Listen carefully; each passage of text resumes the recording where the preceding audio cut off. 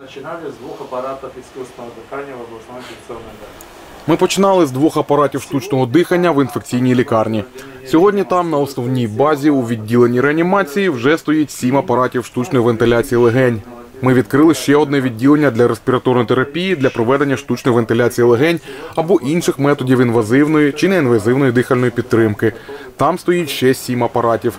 Загалом в обласній інфекційній лікарні 14 апаратів штучного дихання готових до початку роботи. Станом на сьогоднішній ранок пацієнтів у відділенні реанімації немає. Така сама ситуація на другій базі. Це перша міська лікарня. Там сьогодні стоїть 10 апаратів. Сьогодні-завтра надійдуть ще два нових апарати проплачені. І за необхідності підставлять плече і інші лікарні міста Миколаєва.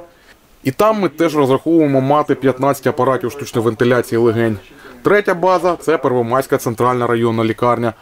Там на неділю було 10 апаратів. Вчора доставили ще два. Сьогодні ці 12 апаратів штучної вентиляції легень готові.